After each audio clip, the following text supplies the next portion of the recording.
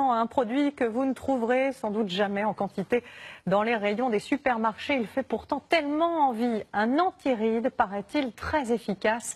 L'huile de pépin de figue de Barbarie est aujourd'hui vendue comme un élixir de jouvence, mais elle est aussi l'huile la plus chère du monde, 1000 euros le litre. Pour percer ce mystère, François-Xavier Ménage et Charif Soiri se sont rendus au Maroc. Regardez.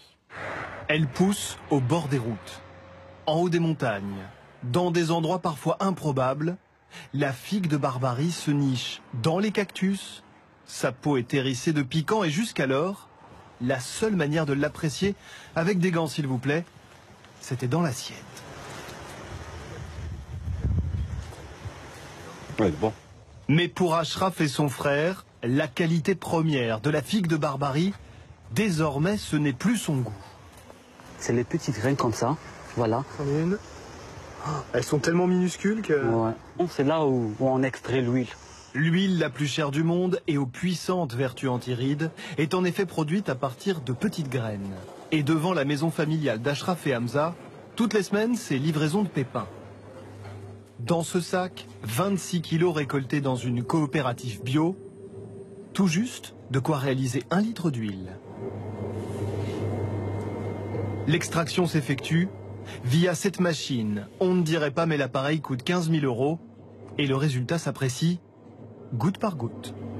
Pour avoir euh, un seul litre, il faut environ 8 euh, heures euh, d'extraction. Des fois, on peut faire même 24 heures d'affilée. Et ça ne s'arrête pas là. Ensuite, il faut filtrer. Une infinie patience est encore requise. Puis repos pendant 4 à 7 jours. On résume, pour fabriquer l'huile la plus chère du monde, Prenez une tonne de figues de barbarie, ce qui vous donne 30 à 50 kilos de pépins, lesquels ne produisent au final qu'un litre d'huile. Le processus est long et coûteux, le prix, lui, est himalayesque pour le consommateur. 1000 euros le litre. Malgré cela, le carnet de commandes d'Amza est plein à craquer. On a des clients partout dans le monde, les États-Unis, le Canada, la Pologne, euh, l'Espagne, la Belgique. Voilà, la Chine aussi.